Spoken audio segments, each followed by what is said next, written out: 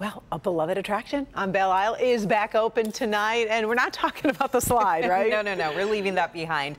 After a long renovation, the Belle Isle Nature Center, which is operated by the Detroit Zoo, is finally back open. Our Kim DeJulio takes us to Belle Isle to show us the updates and how it's unique to Detroit. What's so neat about this nature center is it represents the nature that you can find right here in our city. For instance, we're in a sewer. So what kind of nature would you find living in a sewer? We'll take a look at this. A rat and a frog. They all find a great habitat in a sewer like this.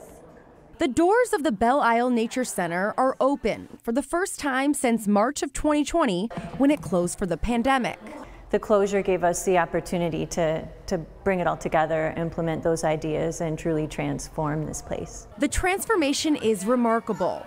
This mud puppy habitat used to be just a cinder block wall, but now this display represents where you can find mud puppies in the city.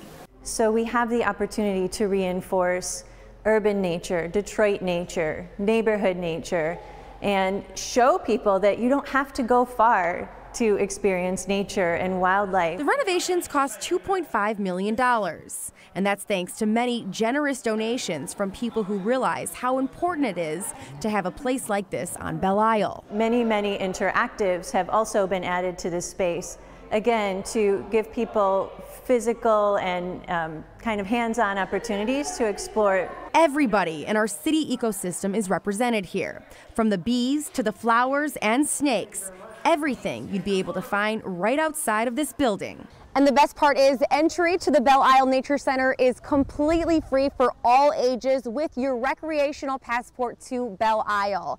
And they also have programs for children and adults that are free as well. I've posted information on that at our website at clickondetroit.com. Reporting on Belle Isle, I'm Kim DeJulio, Local 4.